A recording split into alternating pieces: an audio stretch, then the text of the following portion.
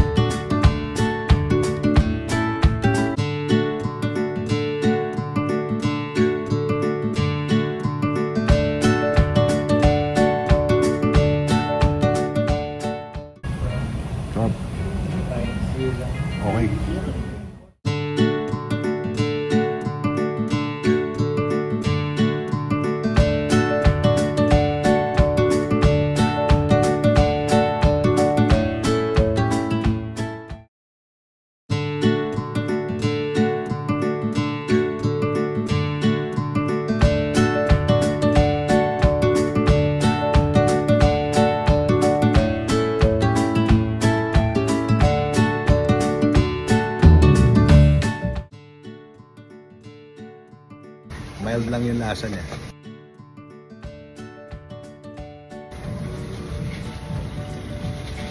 Ako mas gusto ko to. Bali yung meat na kasama sa ramen, ano, pork parehas.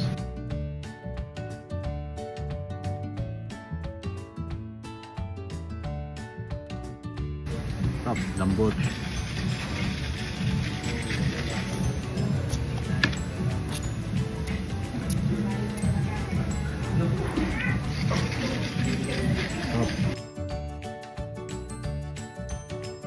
Rani pa yung yolk. Nakalimutan si Naruto.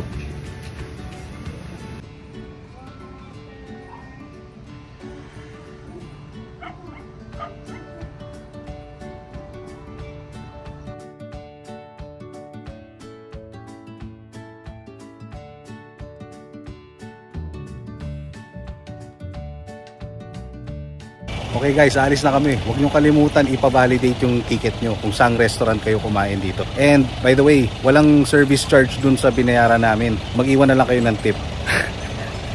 Para sa akin, masarap yung food, okay naman yung price, pero siguro yung drinks, baka siguro wag na kayo order ng drinks kasi yung dalawang drinks pa lang namin, 700 pesos na kaagad eh.